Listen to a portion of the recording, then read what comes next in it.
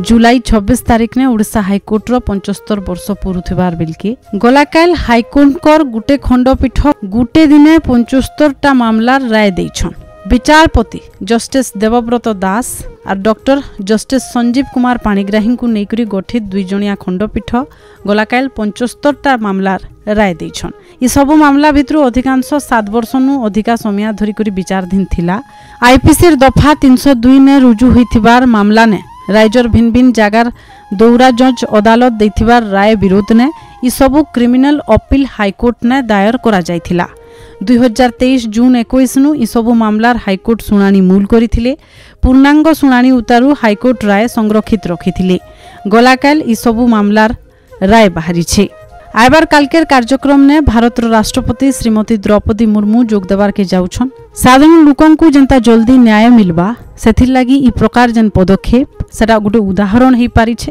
ବହୁତଟେ ଆବେଦନର ବିଚାର କରି କରି ଖଣ୍ଡପୀଠ ତଲର ଅଦାଲତଙ୍କ ରାୟକେ ରଦ୍ଦ କରିଛନ୍।